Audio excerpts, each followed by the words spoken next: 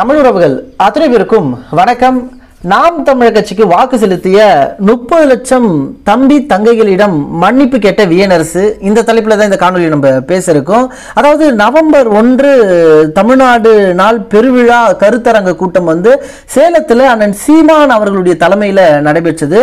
இந்த கூட்டத்தில் கலந்து கொண்டு ஐயா வியனரசு அவர்கள் வந்து தனது கருத்தை வந்து தெரிவிச்சிருந்தாரு. ஐயா வியனரசு அவர்கள் பேசும்போது என் வாழ்நாளில் நான் யாரிடமும் மண்டியிட்டது இல்லை மன்னிப்பு கேட்டதும் இல்லை நான் மிகவும் வருத்தப்பட்ட நாம் தமிழர் கட்சியிலிருந்து பிரிந்ததற்கு அதற்காக முப்பது லட்சம் நாம் தமிழர் கட்சி வாக்காளர்களிடம் மன்னிப்பு கேட்டுக்கொள்கிறேன் என்று ஐயா வீணர்ஸ் அவர்கள் வந்து தனது வருத்தத்தை வந்து பதிவு பண்ணாரு. மூன்றாண்டு காலம்.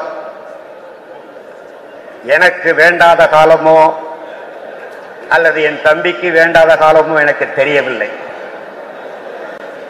நாற்பத்தி ஓரு ஆண்டுகள் இந்த தமிழ் தேசிய களத்தில் நிற்கிறேன். பல்வேறு இயக்கங்களில் பயணித்திருக்கிறேன் பேரவைகளில் பயணித்திருக்கிறேன் கட்சிகளில் இருந்திருக்கிறேன். அவைகளிலுமிருந்து விலகி இருக்கிறேன்.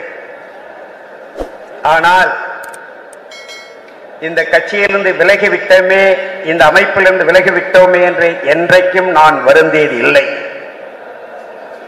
நாம் தமிழர் கட்சியிலிருந்து பிரிந்து விட்டோமே என்றுதான் நான் வருந்திருக்கிறேன்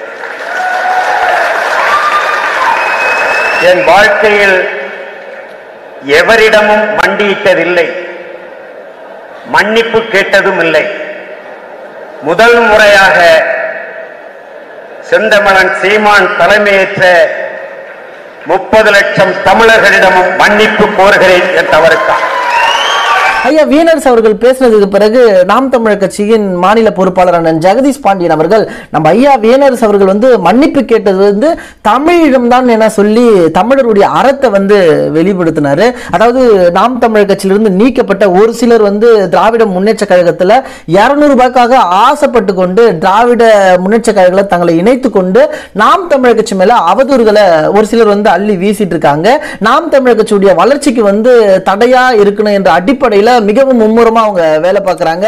நாம் தமிழர் கட்சியிலிருந்து நீக்கப்பட்டாலும் ஐயா வியனரசு அவர்கள் வந்து தனது வருத்தத்தை வந்து நாம் தமிழர் கட்சி உறவுகளிடம் தெரியப்படுத்தியிருப்பது என்பது நிச்சயம் வரவேற்கத்தக்கது. இனி வரும் நாட்கள்ல வந்து நம்ம ஐயா வியனரசு அவர்கள் வந்து நாம் தமிழர் கட்சி சித்தாந்தத்தை ஏற்ற அண்ணன் சீமான் அவர்களோடு உறுதியாக நிற்பார் என்பதை நம்ம எதிர்பார்க்கலாம்.